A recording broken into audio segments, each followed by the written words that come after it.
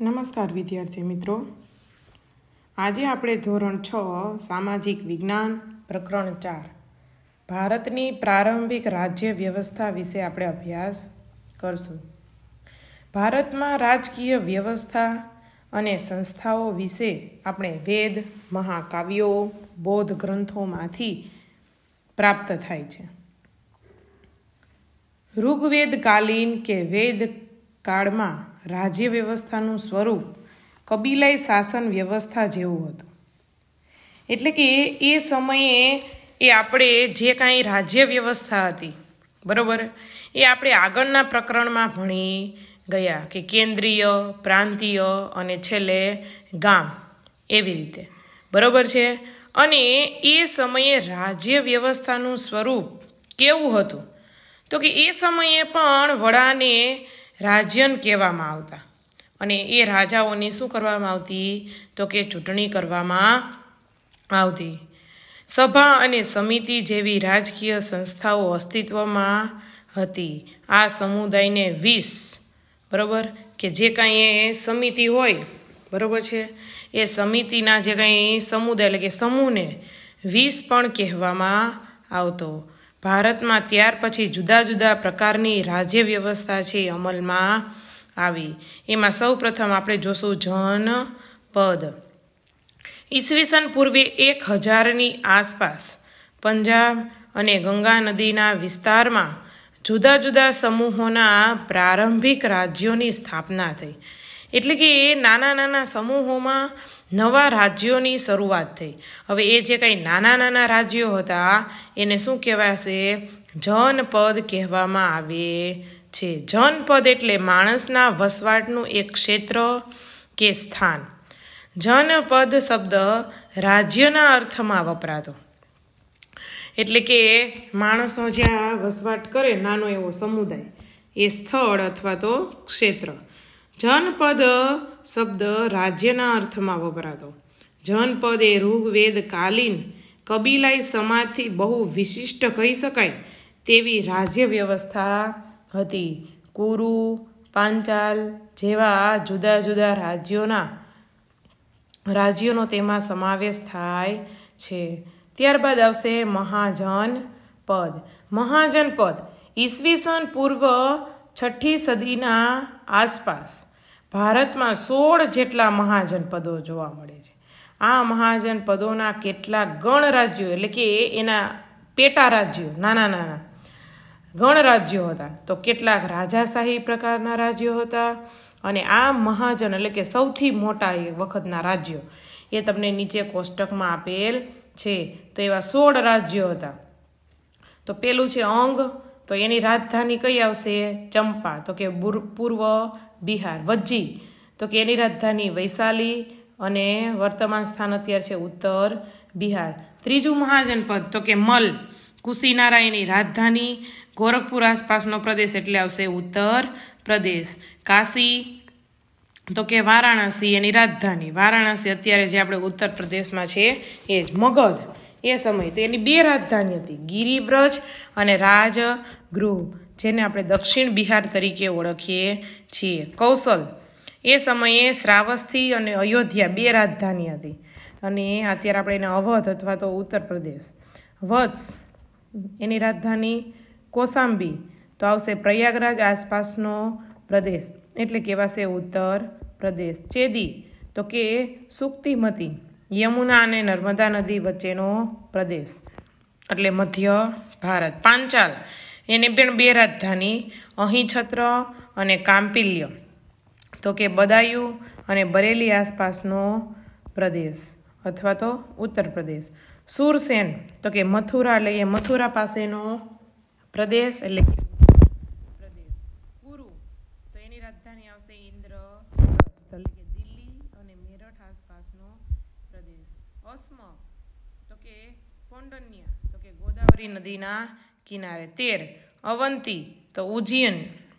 ઉજ્જૈનની બરોબર છે? તો કે માળવાનો પ્રદેશ. મત્સ્ય, તો કે વિરાટનગર. તો કે જયપુર પાસેનો પ્રદેશ. ગાંધાર. એ સમયે ગાંધાર છે પણ સૌથી મહાજન પદ કહેવાતું તેની રાજધાની હશે તક્ષશિલા કે પેશાલ અને રાવલપિંડી આસપાસનો પ્રદેશ. કંબોજ, તો એની રાજધાની આવશે લાજપુર. નૈઋત્ય કાશ્મીર આસપાસનો પ્રદેશ. આ સોળ મહાજનપદો એ આપણે નકશા દ્વારા એ જોશું. બરોબર છે જ્યાં ગુલાબી ટપકા કરેલા છે, એ દરેકે પાઠ્યપુસ્તકમાંથી જોવાનું છે કે ભાઈ એ મહાજનપદો ક્યાં આવેલા છે. આગળ જોશું રાજાશાહી રાજ્ય વ્યવસ્થા. જે રાજ્યતંત્રમાં રાજા મુખ્ય હતા, તે રાજાશાહી રાજ્યતંત્ર કહેવાતું. આ સમયના મહાજન પદા, પદો વચ્ચે સત્તા માટે હરીફાઈ રહેતી જેમાં મુખ્યત્વે ચાર શક્તિશાળી રાજ્યતંત્રો, મગધ, કૌશલ, વત્સ અને અવંતી, વચ્ચે વિશેષ સ્પર્ધાઓ થતી રહેતી, જેમાં આખરે મગધ શક્તિશાળી રાજ્ય તરીકે પ્રખ્યાત થયું. ત્યારબાદ જોશું મગધ. રાજાશાહી રાજ્યતંત્રમાં બુદ્ધના સમયમાં મગધ રાજ્ય શક્તિશાળી મહાજન પદ બન્યું હતું. મગધમાં ત્રણ મજબૂત વંશોએ શાસન કર્યું. તો પેલું કયું આવશે? હરિયક વંશ. તો કે આ વંશનો સ્થાપક બિંબિસાર નામનો રાજા હતો. મગધની રાજધાની તરીકે મગધની રાજધાની કઈ? તો કે રાજગૃહ, એટલે કે ગિરિવ્રજ હતી. જે ગંગા અને સોણ નદીના કિનારે આવેલું હતું. તેના પછી તેનો પુત્ર અજાત શત્રુ એ શાસન પર આવ્યો. તેણે પાટલીપુત્રને રાજધાનીનું સ્થાન બનાવ્યું હતું, એટલે કે પટના. તેણે વજ્જી સંઘ સાથે યુદ્ધ કરી લીછવીઓને હરાવ્યા અને મગધનો રાજ્ય વિસ્તાર કર્યો. એટલે કે જે રાજ્ય એ સમયે જીતી લેતા, તો એ પોતાનો એ લોકો ગણતા. તો પોતાના રાજ્યનો શું થયો? વધારો થયો. ત્યારબાદ આવશે નાગ વંશ હરિયંક વંશ બાદ નાગ વંશ સત્તા પર આવ્યો. તેમાં શિશુનાગ નામના બૌદ્ધ ધર્મ સાથે સંકળાયેલ રાજાનો સમાવેશ થાય છે. ત્યારબાદ આવશે નંદ વંશ મહાપદ્માનંદ દ્વારા સ્થાપિત નંદ વંશ સૌથી શક્તિશાળી વંશ હતો. મહાપદ્માનંદ ભારતનો સૌ પ્રથમ સામ્રાજ્ય નિર્માતા ગણાય છે. તેના સમયમાં મગધ ભારતનું સૌથી શક્તિશાળી રાજ્ય બની ચૂક્યું હતું. એ સમયે સિકંદરના ભારત પરના આક્રમણ સમયે મગધ પર નંદ વંશનો ધનાનંદ નામનો રાજા એ શાસન કરતો હતો. બરોબર છે? અને ત્યારબાદ જોશું ગણ રાજ્ય. ગણ રાજ્ય એટલે લોકો દ્વારા પ્રત્યક્ષ કે પરોક્ષ પદ્ધતિ વડે ચૂંટાયેલા વડા દ્વારા શાસિત રાજ્ય. કે જે કોઈ વ્યક્તિ એ પ્રત્યક્ષ અથવા તો કોઈ બીજા દ્વારા અથવા લોકો જ છે ડાયરેક્ટ એને ચૂંટી કાઢે, બરાબર? અને એ જે વડો એટલે કે આપણે કેમ ગામમાં ચૂંટણી કરવામાં આવે ને વડા છે કે સરપંચ અને પછી એ સરપંચ છે એ ગામ ઉપર શું કરશે? શાસન. તો એવી રીતે ચૂંટાયેલા વડા દ્વારા શાસિત રાજ્ય. ગણરાજ્ય પ્રાચીન રાજ્ય વ્યવસ્થા તથા શાસન પદ્ધતિનું નોંધપાત્ર લક્ષણ હતું. ગણનો સમય, અર્થ એ સમૂહ થાય છે. ગણ એટલે સમૂહ. એક કરતાં વધારે સભ્ય સંખ્યાની મદદથી ચાલતું રાજ્ય એ ગણ રાજ્ય કહી શકાય. આ સમયે કેટલાક એવા પણ રાજ્યો હતા કે જેમાં રાજાઓને જનતા દ્વારા પસંદ કરવામાં આવતો હતો કે કોઈ પણ રાજા એ લોકો દ્વારા પસંદ કરવામાં આવતો. આવા રાજ્યને ગણ રાજ્ય કહેવામાં આવતું. જેમાં વૈશાલીના લીછવીઓ કપિલ વસ્તુના સાક્યો, મિથિલીના વિદે, કુશીનારાના મલો વગેરે પ્રજાઓના ગણરાજ્યો હતા. આ પ્રકારની રાજ્ય વ્યવસ્થામાં પ્રત્યેક સભ્યને, પ્રત્યેક સભ્ય એ રાજા જેવો દરજ્જો આપવામાં આવતો કે એમાંથી કોઈ પણ રાજા તરીકે ચૂંટાય આવે. ગણ શબ્દ તો કે ઘણા સભ્યોવાળા સમૂહ માટે વપરાતો. ગણ એટલે જૂથ અથવા સમૂહ અને સંઘ એટલે એક સંગઠન અથવા તો સભા.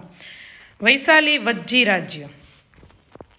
રાજ્ય, સત્તાક મહારાજ્યો, આસપાસના પ્રદેશો તાબે કરીને પોતાની સત્તા વધારવા અને સામ્રાજ્ય સ્થાપવાની મહત્વાકાંક્ષા રાખતા. આ જોઈને લીછવી વજ્જી જ્ઞાતુક, વિદે શાક્ય મલ વગેરે આઠ કે નવ જાતિના લોકોને પોતાનું રક્ષણ કરવા કે સંઘ રાજ્ય, એટલે કે એક સભા, એને સ્થાપિત સ્થાપી હતી એ વજ્જી સંઘ નામે ઓળખાયું. એ સંઘ રાજ્યનું મુખ્ય સ્થાન હતું લીછવીઓનું પાટનગર વૈશાલી. આથી તેને વૈશાલીના વજ્જી સંઘનું ગણરાજ્ય કહેવામાં આવતું. ગણરાજ્યના રાજ્ય વહીવટનું ગણરાજ્યના રાજ્ય વહીવટનું સંચાલન સભા દ્વારા થતું. અને જેના કારણે તેને ગણતંત્ર કહેવામાં આવતું. ગણરાજ્યમાં રાજ્યની બધી સત્તા સભ્યો પાસે રહેતી. કે જે કાંઈ આખો સંઘ હોય, સભામાં લોકો હોય, બરોબર છે? એ સભ્યો પાસે રહેતી. સભામાં સભ્યો બેસતા, બધા કામકાજ ગણસભામાં રજૂ થઈ અને જો બહુમત કે સર્વાનુમત કે કોઈ પણ ધારો કે દરેક લોકો ભેગા થતા. અને એ દરેક લોકો છે એ પોતપોતાના વિચારો છે એમાં રજૂ કરતા. અને કોઈ પણ એવું કામકાજ હોય, બરાબર, એમાં દરેક લોકોની હા, એટલે કે બહુમત હોય, અથવા તો સર્વાનુમત, કે દરેક લોકોનો મત એક જ સરખો હોય, તો એ કામ છે એ પસાર કરવામાં આવતું અથવા તો માન્ય ગણવામાં આવતું. જ્યાં સભા ભરાતી, એ જગ્યાને શું કહેવામાં આવશે? સંથાગાર. એટલે કે નગર ભવન તરીકે ઓળખાતી. ગણરાજ્યની સભામાં સભ્ય તરીકે વૃદ્ધ તેમજ યુવાનોની પસંદગી થતી. ગણરાજ્યો રાજ્ય વહીવટ માટે પોતાનો પ્રમુખ એ પસંદ કરતા હતા અને એ પ્રમુખ એ ચૂંટણી કરીને પસંદ કરવામાં આવતો. ગણરાજ્યમાં પ્રત્યેક રાજ્યને રાજા ગણવામાં આવતો. ગણરાજ્યોની પોતાની એક સભા હતી, જેમાં આખા જે ગામ હોય તેનો વહીવટ, સંરક્ષણ, યુદ્ધ, સંધિ જેવા ઘણા મહત્ત્વના પ્રશ્નો ઉપર શું કરવામાં આવતી, તો કે ચર્ચા કરવામાં આવતી. અને જો દરેકનો બહુમત અથવા તો સર્વાનુમત હોય, તો એ ઉપર નિર્ણય લેવામાં આવતો. કોઈ પણ સભ્ય નિયત થયેલા સમય સુધી જ સભ્યપદ ભોગવતો. એટલે કે એની અમુક વર્ષની જે કાંઈ મર્યાદા હોય, ધારો કે પાંચ વર્ષ સુધી એ સત્તા ભોગવશે. તો એ સમયે જે નિયત કરેલો સમય હોય, એ સુધી જે સભ્યપદ ભોગવતો. ગણરાજ્યના પ્રમુખને એક કાર્યવાહક સમિતિ એ રાજ્ય વહીવટમાં મદદ કરતી. બરોબર છે? ત્યારબાદ આપણે જોશું ગણરાજ્ય સમયનું સમાજ જીવન અને રાજ્ય વ્યવસ્થા.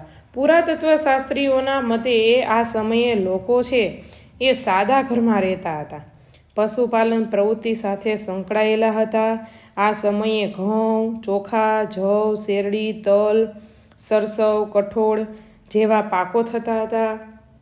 લોકો માટીના વાસણોનો ઉપયોગ વિશેષ પ્રમાણમાં કરતા હશે. કારણ કે પુરાતત્વ શાસ્ત્રીઓને એ સમયે આવા જે માટીના વાસણો છે એ મળી આવ્યા છે. આ સમયે માટીના કેટલાક વાસણો ઉપર ચિત્રકામ પણ જોવા મળે છે અને આ વાસણો છે એ ભૂખરા રંગના ચિત્રો, એટલે કે ચિત્રિત વાસણો હતા. આથી તેને એ ઘૂસરપાત્ર પણ કહેતા. આ સમયે કોઈ પણ રાજ્યનો શાસક પોતાના રાજ્યના સંરક્ષણ, એટલે કે પોતાના રાજ્યના રક્ષણ માટે શક્ય બધા ઉપાયો કરતો.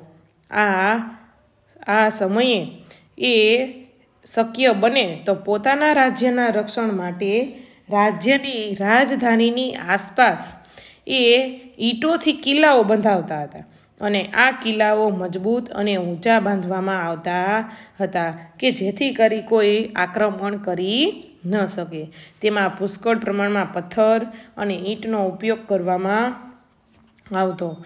કેટલાક રાજાઓ પોતાની શક્તિ અને સમૃદ્ધિનું પ્રદર્શન કરવા માટે પોતાના રાજ્યની ફરતે વિશાળ, ઊંચી અને ભવ્ય દિવાલો તૈયાર કરાવતા હતા. પ્રયાગરાજથી મળેલ ઈંટની દિવાલ આશરે પચીસો વર્ષ પહેલાંની, બરોબર, ગણાય છે અને સંભવતઃ આ સમયે આવી ઊંચી દિવાલ વાળા કિલ્લાઓ બાંધવામાં આવતા હશે. જો અહીંયા આપણે બાજુમાં ચિત્ર આપ્યું છે, ઈંટોના કિલ્લાની દિવાલ. આ સમયમાં તમામ મહાજન પદોને વિશાળ સેના અને સંરક્ષણ માટે મજબૂત કિલ્લાની જરૂરિયાત રહેતી. આ જરૂરિયાતને પૂરી કરવા લોકો પાસેથી એ કર લેવામાં આવતો કે દરેક લોકોને જે ખેતી, બરાબર છે? એ ભારત છે એ કૃષિ પ્રધાન દેશ છે. તો એ સમયે લોકો પાસેથી ખેતીના પાક પર છઠ્ઠો ભાગ છે. એ રાજકોષમાં આપવામાં આવતો, એટલે કે રાજાને આપી દેવામાં આવતો. કારીગર વર્ગ એક માસમાં એક દિવસ, અને જો કોઈ કારીગર હોય, તો એક માસમાં એક દિવસ રાજ્યને કામ કરીને આપતો. પશુપાલકો છે એ કરના ભાગરૂપે શું આપતા? તો કે પશુઓ, આપતા વેપારીઓ એ સામાનના ખરીદ વેચાણ પર પર કર આપતા હતા. મહાજન પદોના સમયગાળામાં લોખંડના ઓજારોને લીધે ખેતીમાં પણ સુધાર થવા લાગ્યો. બરાબર છે? અહીંયા આપણું આ પ્રકરણ પૂર્ણ થશે.